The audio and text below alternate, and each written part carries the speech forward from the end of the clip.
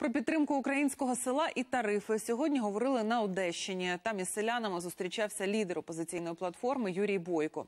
Про що ще встигли згадати? Дивіться далі. Великомихайлівський район один із найвіддаленіших на Одещині. Тут повно проблем: погані дороги, безробіття, низький рівень освіти і медицини. А ще вічні труднощі сільгоспробітників. Держава не регулює цінову політику на ринку зерна.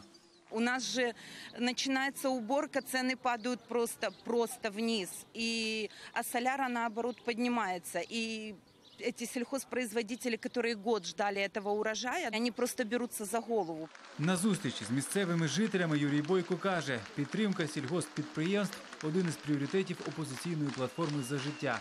Адже саме на фермерських господарствах і тримається тутешнє життя. Саме аграрії наповнюють місцеві бюджети. Однозначно надо поддерживать фермеров, поддерживать малый бизнес в селе, поскольку в селе крупных предприятий нет. И когда мы фермера поддерживаем, он остается жить в селе, он создает рабочие места, село будет жить. Потому что куда идет глава сельсовета? Он идет к фермеру. Фермер помогает, фермер создает рабочие места. Крупный агр- агрохолдинг мест не создает. Приехали, посеяли, уехали. Убрали, уехали. А село без рабочих мест.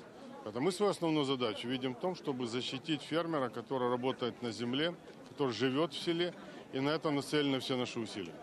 На зустрічі звучало ще чимало інших запитань. Окремо Юрій Бойко зупинився на темі драконівських, за його словами, комунальних тарифів. Політик каже, опозиційна платформа за життя боротиметься за зниження цін на енергоносії, передусім на газ. Костянтин Редін, В'ячеслав Никіфоров. Новини телеканал Інтер, Одеська область.